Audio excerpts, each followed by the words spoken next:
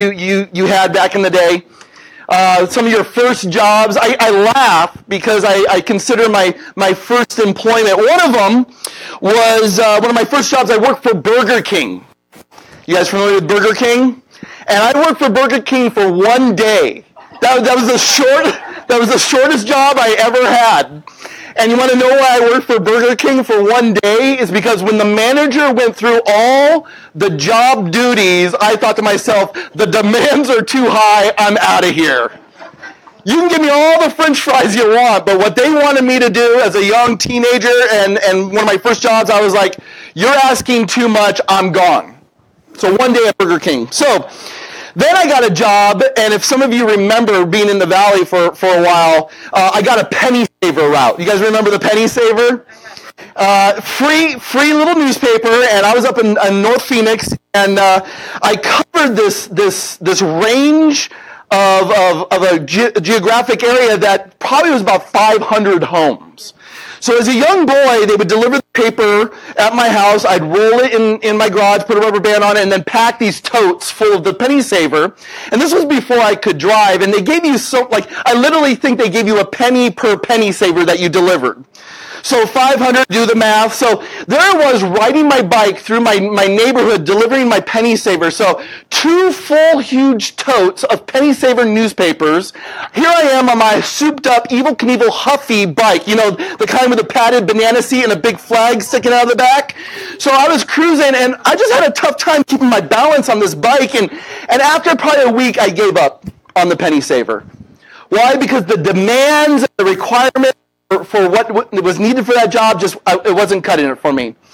And i think about you know the fact that sometimes and this is what god taught me early on is that sometimes the things that we get involved in and are asked of us will stretch us. Sometimes the demands that are placed upon our, our lives whether it be in, in relationships or career or job are, are, are not they're not going to be easy have you, have you discovered this in your own life that when you enter into some realm that you're interested in, sometimes the expectations can be such where you're tempted to say, you know what, it's too much, I'm going to walk away from this.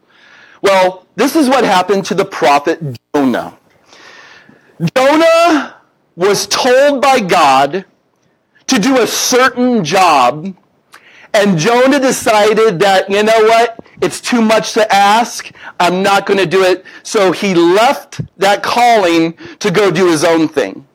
Now I'm going to tell you, far greater than a Burger King employer or a Penny Saver employer, when God hires you on to do something, and you find the demand to be too stringent, too difficult, too tough, there is no option to just go ahead and say, you know what, thanks, but no thanks, I'm going to do my own thing. And I'm going to tell you something when it comes to the followership that is required of us to love Jesus, to follow God, the demands are tough. What God wants for us are going to be things that sometimes we are tempted to throw in the towel and say, you know what, God?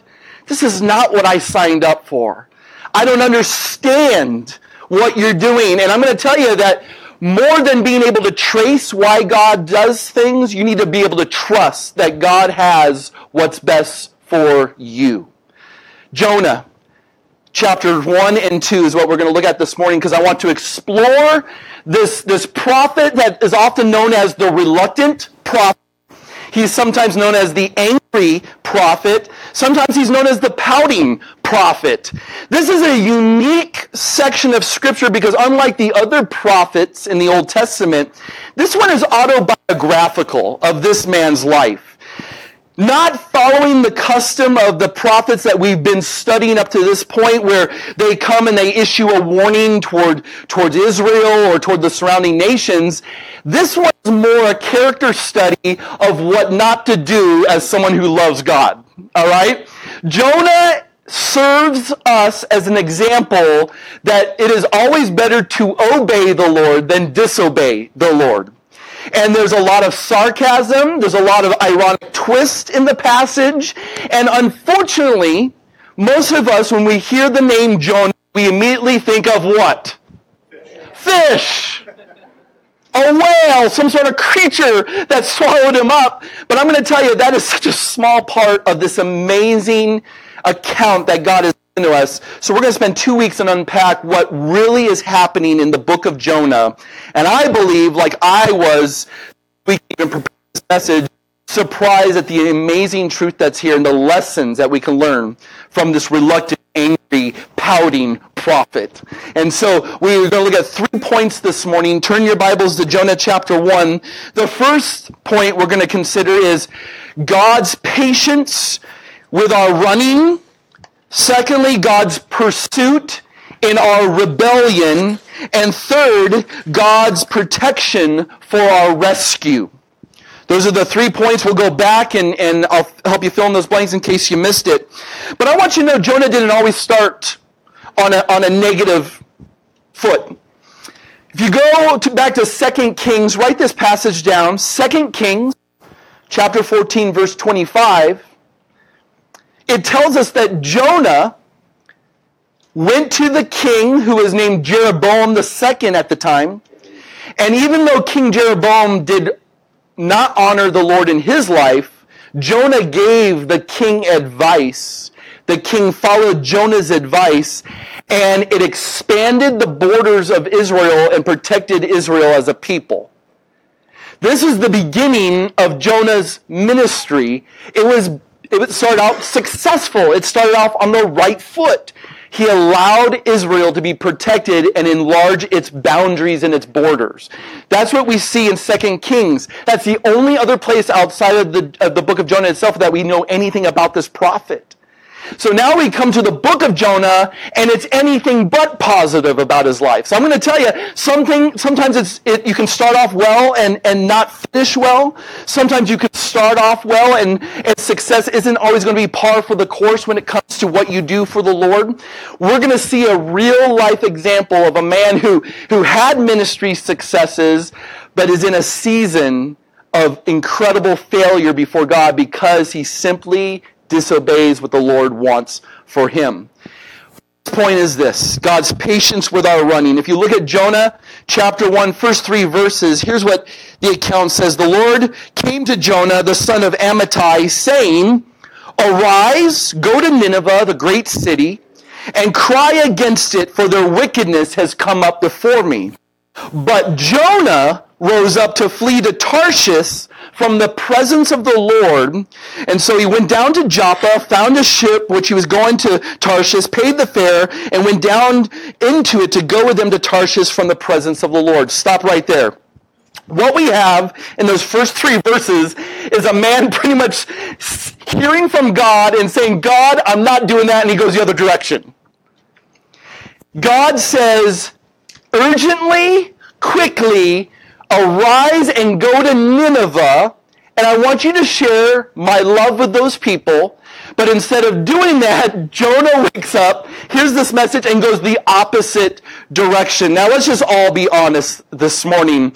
How many of you, when God has clearly told you to do something, decided to go the opposite direction? All of us are in good company. This should be called Disobedient Anonymous. Welcome to DA. My name is Scott. There's been many opportunities I've heard from the Lord and done the exact opposite of what He's required of me. All of us can relate with running from what we know we're supposed to do. Amen? All of us can relate with God telling us to do something and then turning and doing the exact opposite. The question is, why does Jonah turn and not do what God wants them to do? Well, you need to understand something about Nineveh. Nineveh is modern day Mosul. You know where Mosul, Iraq is? You've probably heard about it in the news. That's where Nineveh was located. It was one of the greatest cities in the ancient Near East. It was a huge city. It took three days to walk from one end to the other of the city. It was filled with Assyrians, and the Assyrians were known as one of the most cruel and violent people groups of all time. They found creative ways to kill and torture and persecute people. These people were masters in torturing people, and I'm not even going to begin to get into the R-rated examples of what they did to their victims. But let me just tell you, they were cruel, they were nasty, they were violent. And oftentimes the Assyrians would come in and they would exercise their violence on the people of Israel. So all of a sudden God says, Jonah, get up quickly and go tell the, the people of Nineveh about my love for them.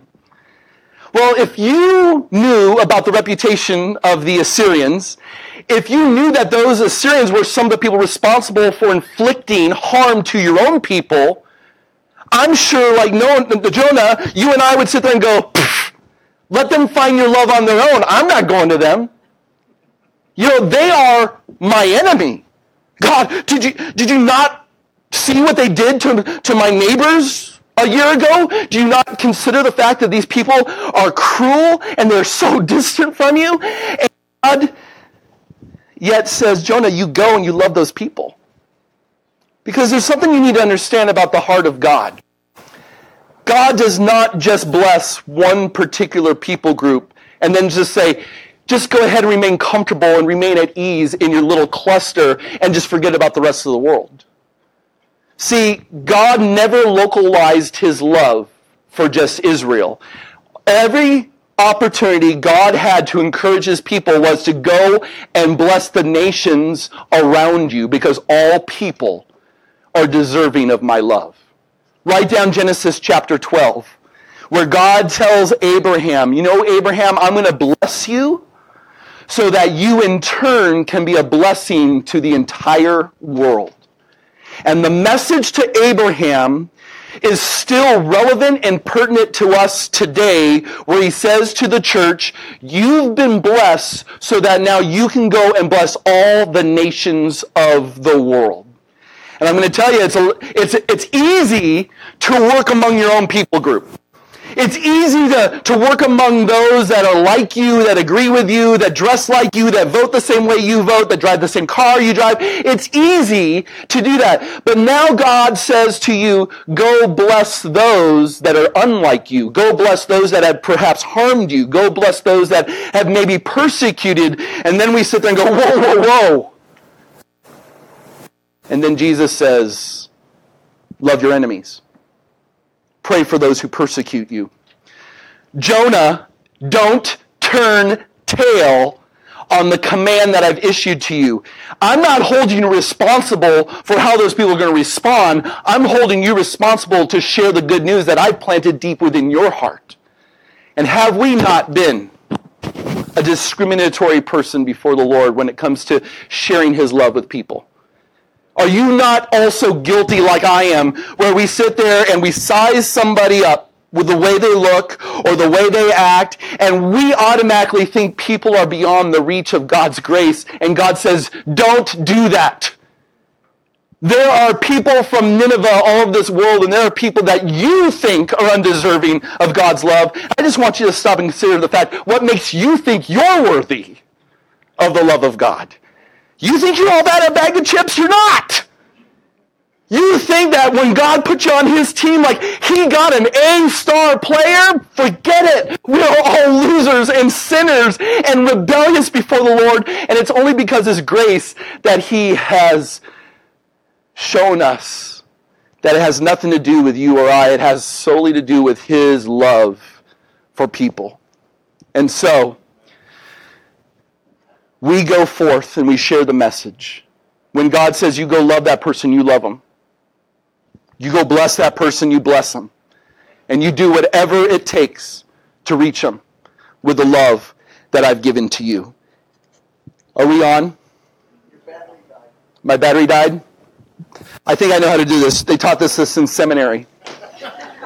You know that place where I got the Master's of Divinity degree? Did I mention it twice already today?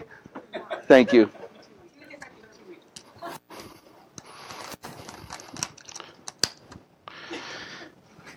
Check one. Are we on? Wow, that was fast, wasn't it? Good job, you guys. Good job. All right. Where were we? Oh, yeah, Nineveh. Consider this for a moment. Jonah is asked to go to Nineveh. I'm going to tell you geographically, it's about 500 miles northeast of where Jonah lives. But instead of doing what God wants him to do, he finds a ship and goes 2,500 miles the opposite direction. Because Tarshish was literally considered the end of the world, perhaps in modern day Spain. He goes down, finds a ship, gets on board that ship, pays the fare, right, and sets sail to, to go against what God wants him to do. And I'm going to tell you something, you guys, when it comes to running from God. It is costly, it is tiring, it is not the choice you want to make at the end of the day. He was willing to go 2,500 miles in disobedience rather than 500 miles in obedience. It's going to cost more, it's going to require more time, and it's going to be taxing on you. At the end of the day, Jonah is going to be a testimony to say, obey rather than disobey. So he boards a ship for Tarshish, and he goes onto the boat, and he's trying to run away from God. Now, what I love about God is that he is patient with our running. Sometimes he lets us run, but one thing I know about God, too, is that the running will come to an end eventually, and he will pursue us if we continue to be rebellious and disobedient, which is our second point. Notice verse 4. So he boards the ship, trying to flee from the presence of the Lord. Now, this is, this is like theology 101, right? Can we ever flee from the presence of the Lord? I mean, consider Psalm 139, right? The psalmist says, Where can I go to flee from your presence, O Lord? If I go to the highest heights of heaven, you're there. If I go to the depths of Sheol, that, that, that place of, of the grave and darkness, you're there. There's nowhere where I can run to, to outrun you. Even though in our hearts we feel like, yeah, we can distance ourselves, one thing I know about God is that He loves pursuing those whom He loves. Even though that pursuit may be disciplinary, He's a father who loves his kids, and he's only going to allow us to disobey so much before he gets our attention, which is verse 4. Read this. And the Lord hurled a great wind on the sea. Who's the one who hurls the wind? It's, it's God, right? So here's Jonah disobeying the word of God, but there's no way he's going to get by with disobeying the works of God. He hurls a great wind on the sea, and there was a great storm on the sea that the ship was about to break up. And then the sailors became afraid, and every man cried to his God, and they threw the cargo which was on the ship into the sea and lightened it for them. But Jonah had gone down below into the hold of the ship to lay down and fall asleep. Everything is going to hell in a handbasket, literally. And Jonah goes to sleep because I'm going to tell you, his spirit is so tired from running. His heart is so tired from disobeying God. Just like the psalmist says in Psalm chapter 32, my bones wearied, my soul wearied from not doing what you wanted me to do. And these men are fighting for them, their lives trying to save the ship, praying to their gods because they worshiped a lot of different gods, and the very one who had the solution to the problem did nothing about it. And so the captain approached him, verse 6, and said, How is it that you're sleeping? Get up, call on your God. Perhaps your God will be concerned about us so that we will not perish. You know, making sure that they have all their gods covered. Certainly Jonah has maybe a different God. Pray to your God. And each man said to his mate, Come, let us cast lots so that we may learn whose account this calamity has struck us. And they cast lots, and the lot fell on Jonah. So they're curious because they're praying and nothing's happening. They're throwing cargo over the ship, nothing's happening. They've got this unknown passenger that they, they have no clue who he is, and perhaps he knows something about the calamity that's happening. And no one is getting to the heart of the issue. And so what do they do? They go to this old way of decision making called casting lots. And I'm going to tell you in Proverbs 16, 33, it says, You may cast lots, but the Lord is the one who's the decision maker behind it. And what do they do when they cast lots? They throw a, a, stone out, something that's colored on different sides, and whoever it falls to, that person is the point or the, the object of reference that they need to deal with. They cast lots, and guess who the lot falls to? Jonah. As it's some arbitrary just, you know, what's going on here like Yahtzee? Just throw the dice out and see what happens. God was behind this because he wants to reveal something going on in the situation, specifically in the, in the prophet's heart. And there's four things I want us to consider in this passage. Number one, I want us to consider the fact that God is relentless. Secondly, God is revealing. Third, God is reducing. And fourth, God is rescuing. So God pursues this rebellious prophet, his rebellious child, and the first thing we see is that God is relentless in getting his attention. Reminds me of a book that I read when I was younger, and I found it a joy to read to my kids. It's a famous bestseller book called The Runaway Bunny. Who's familiar with The Runaway Bunny? Well, I'm going to read it for you this morning. Because look, it's, it's, it takes a minute. Once there's a little bunny who wanted to run away. So he said to his mother, Hey, I'm running away. If you run away, said his mother, I will run after you, for you are my little bunny. If you run after me, said the little bunny, I will become a fish in a trout stream and I will swim away from you. Well, if you become a fish in a trout stream, said his mother, I will become a fisherman and I will fish for you. Gotta stop to show you guys the colored pages. Mom fishing in the stream. Well, if you become a fisherman, said the little bunny, I will become a rock on the mountain high above you. Well, if you become a rock on the mountain high above me, said his mother, I will be a mountain climber and I will climb to where you are. And there she is, climbing the mountains to go after her little bunny. Well, if you become a mountain climber, said the little bunny, I will be a crocus in a hidden garden. Well, if you become a crocus in a hidden garden, said his mother, I will be a gardener and I will find you. And there she is, with her gardening apparel on, going after her little bunny. And if you're a gardener and find me, said the little bunny, I will be a bird and fly away from you. Well, if you become a bird and fly away from me, said his mother, I will be a tree that you come home to. And there's the mom as a tree, waiting for the little bunny to fly into her branches.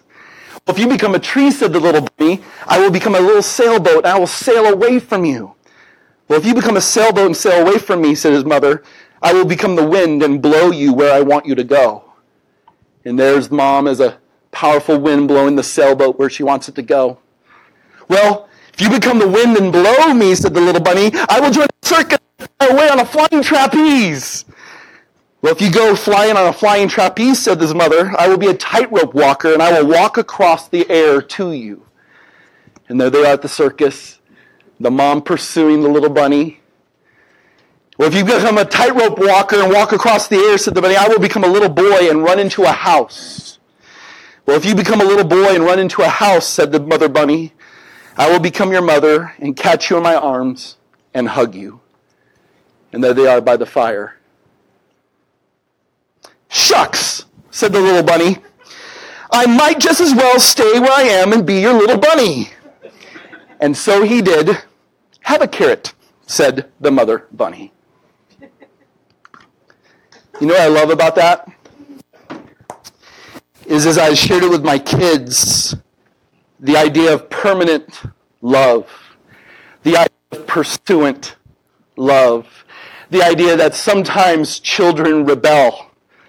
They want to make choices on their own, and as a, as a parent, sometimes you let those kids make those choices, but you never let them make choices where they're able to escape your love for them. And I think how true is the theology of a kid's book like this when it comes to God's love for us. God sometimes hedges us in, but he gives us freedom in those boundaries and says, you may try to run, but you need to know that I'm going to be that, that parent to you that loves you and cares for you to let you just do whatever you want. I may allow a little bit of freedom, but you know in the end, I will track you down because I love you. I will pursue you because I want you to know that my love for you is greater than any love the world could ever have for you. And so God pursues Jonah like the mother bunny pursues the little bunny. See, you guys, God is relentless. And when we ignore his word, This is sometimes where God's works come in. Like I said before, God allows a storm to now affect the whole ship. Men on board this ship are suffering because of one man's disobedience. See, one man's rebellion is causing everyone's life to be in jeopardy. And God is relentless to bring forth some truth from this situation. And the fact that God is relentless, I praise God for that that he pursues us when we are disobedient. He pursues us when we're rebellious. And if you look at Hebrews chapter 12, whom the Father loves, sometimes he disciplines. And that's good because we're all in need of discipline once in a while. Amen? Some of us more than others. Just turn to your neighbor and say, You're one of them. No, don't, don't do that, all right? You know what I think of is the fact that Jonah is taking his relationship with, with God for granted skip to chapter 4, Jonah chapter 4. Look at the second verse. Because this verse gives us the heart of where this prophet's at. Trying to, trying to outrun God, trying to disobey God. Look at verse 2 of chapter 4 of Jonah. He prays to the Lord, says, Please, Lord, was not this what I said while I was still in my own country? In order to forestall this, I fled to Tarshish, for I knew that you are a gracious and compassionate God, slow to anger and abundant in loving kindness, and one who relents concerning calamity. The heart in Jonah was this. He couldn't bear the thought of his enemies being saved by a God who saved him. He only wanted good for himself and didn't want good for somebody else. And this is so reminiscent of the elder brother in the prodigal son account.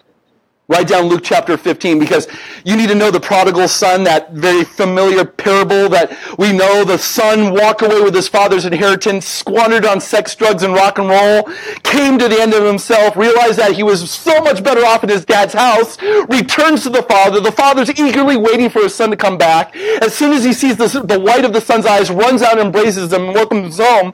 That's all wonderful, but the real character in this account is the older brother who was in the backyard pouting because his dad was so merciful to a brother that he thought didn't deserve it. And the father goes to the older son and says, What are you doing? Your, your younger brother was lost and now he's found. And the only thing the older brother can think about was that his dad should have been more of a man of justice than forgiveness. Dad, did I not do this for you? Did I not do that for you? Was I not the perfect child? Was I not obedient to all? And the son listed this litany of reasons why he should have been the favored child and that other son should have just got justice. Well, when you forget about the just, when you, when you only think about the justice of God and you forget about his forgiveness of God, you end up like Jonah, not caring for people. God is not impressed with your resume of things you do for him. God is not impressed with the litany of, well, I went to church twice on Sunday and sometimes on Wednesday nights, right? Because that makes you spiritual, right? I read through the Bible twice this year. Look at me. I listen to only Christian radio and watch only Christian movies. And we come up with this litany of stuff that we think we can do to earn God's love. And he says, you need to know my relationship with you is not based upon justice. My relationship to you is based upon forgiveness because I know you're going to mess up. And the older brother could not stand the fact that he had performed so much for the Father, and yet the Father forgives so quickly. Who's the problem child in this story? The older brother. Who's the problem in this story? Jonah. Because he forgot about the forgiveness of God. God's highest achievement, man's deepest need. If we are not the conveyors of this truth, the world is dying around us. Justice will come and we'll leave that in the hands of God. You share the forgiveness. You share the grace. You share the mercy. You share the love. Let God take care of the justice. You be the forgivers. Because why? You've been forgiven. How dare you say you've been forgiven and balk at the idea of somebody else being forgiven like you've been forgiven? So God is relentless in bringing this storm. And I'm going to tell you what, whether you're experiencing a physical storm, which is doubtful because we live in Arizona, amen. But sometimes the storm can come on your income. Sometimes God can bring a, a storm upon your health. Sometimes God can bring a storm and, and crush your grades take away your scholarships, rob you of your dreams in school. Because God will bring whatever storm into your life so that you get your attention off of the stuff you think you're going to find security in and be reminded of the most important thing, and that's your relationship with Him. God is relentless in doing this. Secondly, God is revealing. Look at verse 6. So the captain comes down to the where Jonah's sleeping, right? Like, how can you sleep what God do you worship? Now, I want you to see how God is going to use this captain and these sailors to bring out the stuff that Jonah should have been living in, living off of in his heart. The revealing is that sometimes adversity brings forth the, the gold that's been buried under our disobedience. Basically, the captain says, Who are you? What God do you worship? Start praying to that God. And then they cast lots. The lot falls on Jonah. In verse 8, they said to him, Tell us now on whose account has this calamity struck us? What is your occupation? Where do you come from? What is your country? From what people are you? And he says, notice verse 9. Here's, here's the moment God starts revealing the truth. He says to them, I am a Hebrew and I fear the Lord God of heaven who made the sea and the dry land. The truth is starting to surface. See, what you have to realize is adversity sometimes comes into our life, and while it may be punitive, I'm going to tell you something else. Adversity sometimes has a work where it is redemptive. And now we're getting someplace. God is causing this tough, tough time to fall upon this ship because of one man's disobedience. And now he's forced to come to terms with what and whom he believes. I am a Hebrew. I worship the God who created this. Right? These sailors know the ocean. They know the constellations. They know the environment in which they daily work. And now here's Jonah saying, the God who's behind this all, I know him. And I'm going to tell you right now, you guys, when difficulty strikes, whether it be you or somebody in your circle, the greatest place you can take yourself and somebody else is to the fact that there's a sovereign God behind all of this that there's a God that we know holds the cosmos in existence. We know that there's a God who holds the world in his hands. We know there's a God who hasn't walked away from the control panels of the universe and just let things kind of willy-nilly take place, but there's a God who's sovereign over the affairs of nations and men and women. And the place we go back to is we know God is doing something. We may not know what, but we at least start with God. Can I tell you, you're going to walk into work tomorrow and someone's going to ask you, what happened this weekend? You know you do? You go to that place, you say, you know what? Yesterday in church, I was struck by something. They may be going through a difficulty and say, can you tell me more about this? I have a guy here at the coffee shop. So every week it seems like I share a story with somebody that maybe I shared Jesus with. Or once again, it happened this week out there on the patio. I'm sharing Jesus with a guy who's been through hell and back. And as he's disclosing this information, he knows I'm a pastor. And what's interesting, sometimes his little litmus test of, of how much I love Jesus is like he'll cuss frequently around me, and every time he'll stop and be like, sorry, pastor. Like, you know, the moment he up on him, I'm like, you know, like, I don't do that. People introduce them, their parents visiting of town, like people who know I'm a pastor. Hey, he owns a coffee shop, but he's also a pastor. And then the mom will go off and she'll say some sort of explan- you know, ex- expletive, like looking for a reaction. I just sit there and let roll with it because I'm used to living with my wife, you know. But no, just kidding, just kidding, just kidding. She she is Baptist through and through, so she's good. No, I'm just kidding. But these people, you know, they're like looking for reactions from us, and you know what? I don't think people know that we can be trusted people that they can just share their hearts with and expose their guts to, and we're not going to react because of the way they're explaining something, but more importantly than the way they explain something is the, the struggle they're having inside. And I sat on that patio a few days ago with a guy, and he was just sharing his heart, and my, my job was to point him back to God. It wasn't to give him a free coffee. It wasn't to say, you know, just hang out here and just be comfortable. It was to point him to God who's in control of all things. And that's what I'm going to continue to do with this guy because he is hopeless. He is helpless without God's help. Jonah is beginning to realize this as God is revealing something inside. And after the revelation is coming about, he's also reducing something. Look at verse 11. So he discloses this information about who he is. Verse 10, then the men become extremely frightened, for they said to him, How can you do this? For the men knew that he was fleeing from the presence of the Lord because he had told them this. Hey guys, I'm going to acknowledge my, my faults. I'm to acknowledge my sin before you. He tells them that God is bringing this calamity because of his own disobedience. Verse 11, so they said to him, What should we do? So that this storm may be calm for us. And the sea was becoming increasingly stormy. So what does he say? He says, Pick me up and throw me into the sea, then the sea will become calm for you, for I know that on account of me this great storm has come.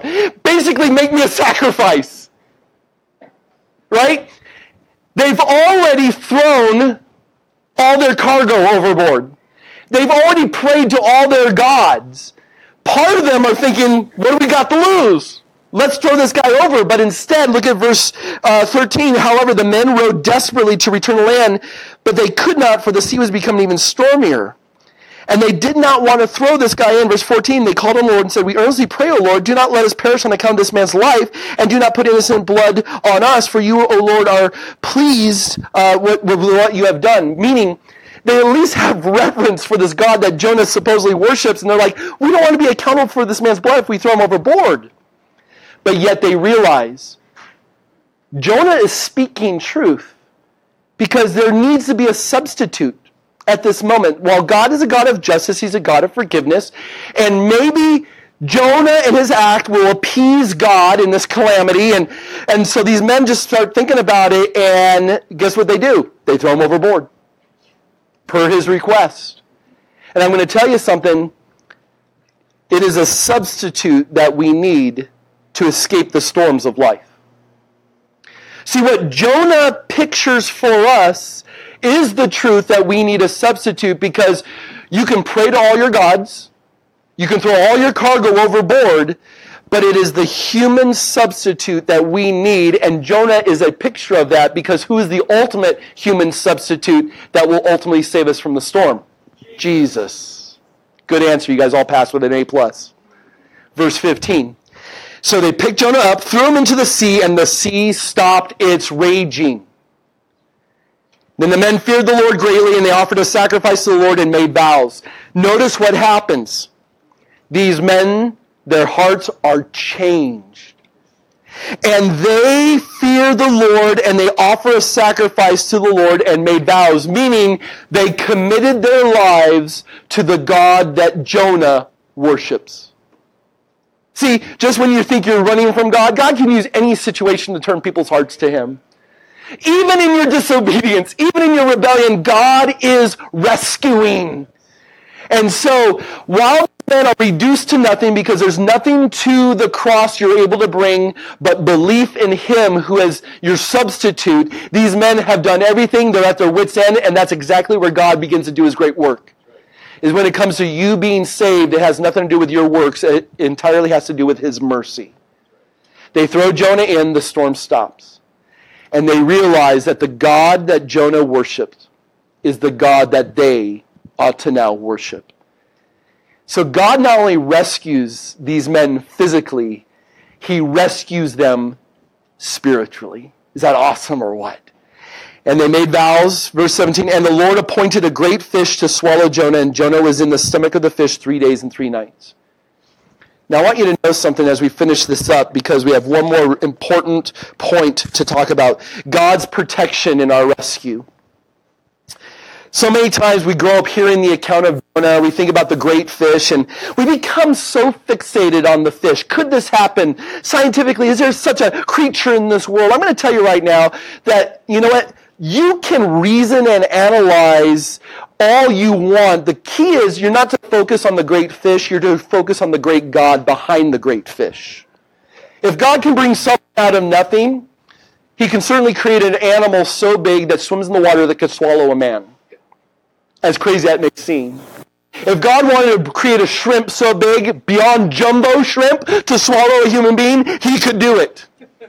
But the point of the story is not to be fixated on this fish. The point of the story is for you to be fixated on a God who is greater than anything we could ever imagine, who loves us in our rebellion, who loves us in our disobedience, and is willing to forgive when we are brought to our senses that we can't live without him. Amen? So God appoints a big fish. You think God knew exactly when those men would throw Jonah overboard? You think God planned that big fish to come along and, and swallow him up? I'm going to tell you, once Jonah was thrown overboard, the fish didn't come around right away. Look at chapter 2. Here's the story. Jonah prays to the Lord, his God, from inside the stomach of the fish. There's no greater place to pray than in the stomach of a fish, FYI, I guess. He says, I called out of my distress to the Lord. He answered me. I cried to help from the depth of Sheol. He heard my voice. He had cast me into the deep, into the heart of the seas, and the current engulfed me, and all the breakers had billows passed over me. And so I said, I have been expelled from your sight. Nevertheless, I will look again toward your holy temple. Here's the scene. This man is reflecting on where he was before the fish swallowed him. As you're going to see, he speaks of his descent from the boat under the water. And I'm going to tell you, unlike us who live in Arizona where it seems like everybody knows how to swim, people in this culture did not know how to swim. They didn't live in areas that were necessarily near the ocean. They didn't need to have this skill. So here's Jonah falling in the ocean. And in his mind, he's saying in his heart that as I'm following, falling, I justly deserve to fall, but there's a hope that I will once again worship you, God.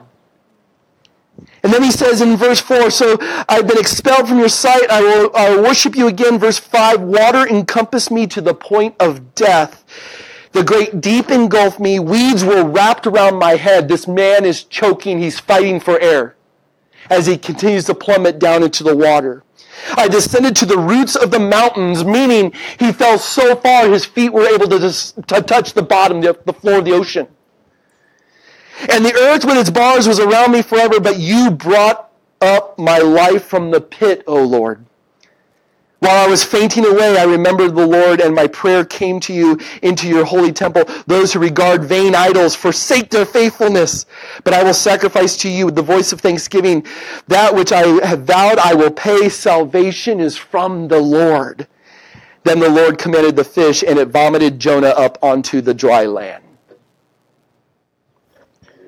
Chapter 2 is his prayer. And as he's reflecting upon his life being saved, he's not so much consumed by, by the fish as he is to the fact that he justly deserved death, and yet God showed him mercy. The sea was ready to kill him. This represents death. But God provided a means for his rescue and that rescue was the fish in which he existed for three days and three nights. The fish was his protection. And as is customary for the Lord, he shows us the container for our protection. The very thing in which we're saved from drowning. The very thing that saves our lives ultimately. You go back to Noah. When you think about Noah, what do you think about? the ark. And God caused a great water to cover the earth. And what was the very object that saved Noah and his family? The boat. Jonah is cast into the sea. He's drowning. He's choking for life. And all of a sudden a fish comes and saves him. The vehicle of saving was this fish. And then Jesus in Mark, Matthew chapter 12, the only time Jesus associates himself or identifies himself with a prophet, it's with Jonah. And he says there's going to be a sign. Just like when Jonah was in the belly of the fish for three days, three nights, so shall I be in the grave for three days and three nights. And if you believe in me, though you are drowning and dying in this ocean of calamity in this world, I will be that saving protection for you.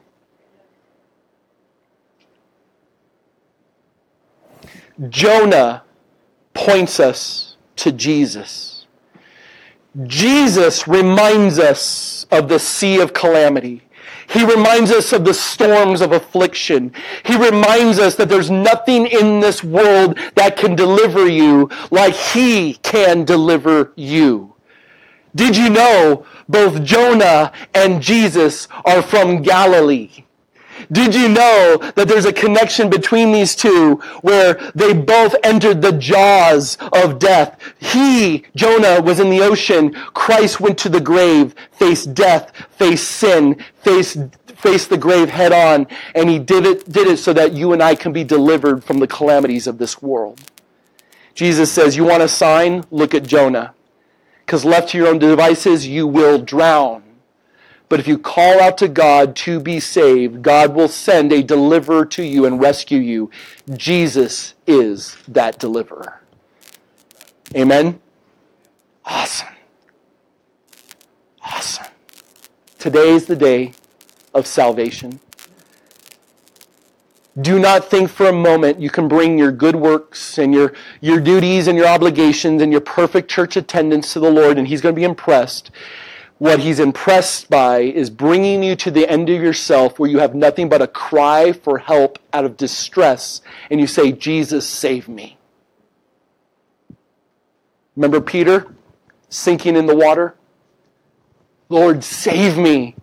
God saved him because there was nothing in Peter that he could save himself. It was entirely upon Jesus. That's our message we preach here at Missio Dei. There's hope in no one else but Christ. There's deliverance in no one else but Jesus.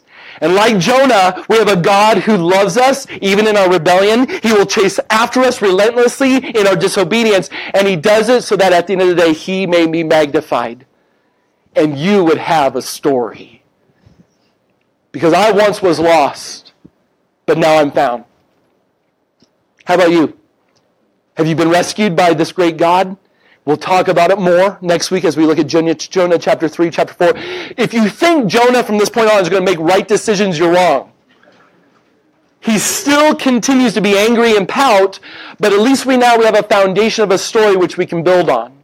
We'll deal with the second half next week, but know this there is always hope in Jesus. Amen? Let's stand, let's pray. Father, you are amazing. Thank you for the account of Jonah, the reminder, the refresher that you're a God who causes things to happen in our life to get our attention. Forgive us for the ways we've wandered. Forgive us for the ways we've rebelled. Renew a right spirit in us and a right attitude in us to choose to do what's right because, Lord, you have commanded it.